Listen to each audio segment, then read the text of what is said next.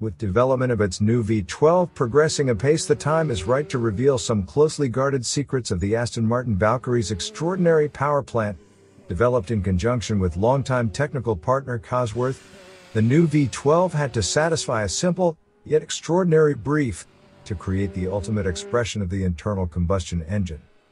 The program called for a normally aspirated engine from the very beginning, for while turbocharging has absolutely come of age and offers significant and widespread benefits, especially in a road application, the greatest driver's car of the modern era demands an internal combustion engine that sits at the absolute pinnacle for performance.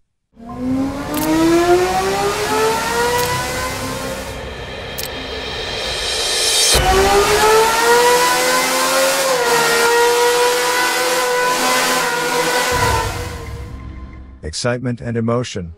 This means the uncompromising purity of natural aspiration.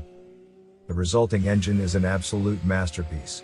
Displacing 6.5 liters, this 65 degrees V12 sets exceptional new standards for maximum RPM and specific output with a certified peak power output of 1000 bhp or 153.8 bhp per liter at a mind-blowing 10,500 revolutions per minute before continuing on to a maximum RPM figure of 11,100, figures that are unprecedented for a naturally aspirated, emissions compliant road car application. Peak torque is 740 newton meters at 7,000 revolutions per minute.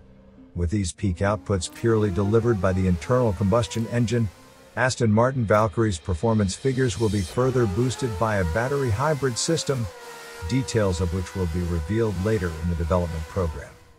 Cosworth's F1 expertise is also evidenced in the Aston Martin Valkyrie engine's weight, which also set new standards. Given the engine is a fully stressed element of the car and the level of technology in the combustion system, keeping weight down was a huge challenge. Especially as the program actively avoided use of extreme material alloys which are so new that material properties over time are unproven. Aside from the major castings, block cylinder heads, sump and structural cam covers, the majority of the engine's internal components are machined from solid material. These include titanium conrods and F1TM spec pistons.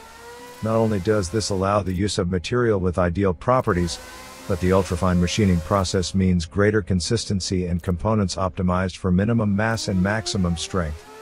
The result is an engine that weighs just 206 kilograms, by way of comparison Cosworth's 3.0-liter V10 F1 TM engines weighed 97 kilograms. If scaled up to 6.5 liters this pure race engine would weigh 210 kilograms. One of the best examples of the painstaking optimization involved is the billet machine crankshaft. Starting life as a solid steel bar 170 millimeters diameter and 775 millimeters long, it is first roughed out then heat treated, finish machined, heat treated again, gear ground, final ground and super finished. Upon completion 80% of the original bar has been machined away and some 6 months have passed, but the end product is a crankshaft that's an astonishing 50% lighter than that used in the Aston Martin One-77's V12, itself a Cosworth developed evolution of Aston Martin series production V12 and, for a time, the world's most powerful naturally aspirated road car engine evoking the spine-tingling, ultra-high revving F1TM engines of the 1990s, but benefiting from two decades of progress in design, material and manufacturing expertise, the Aston Martin Valkyrie's 1000 bhp V12 is a masterpiece from one of the world's most illustrious engine builders, an internal combustion engine without peer for a hypercar without precedent,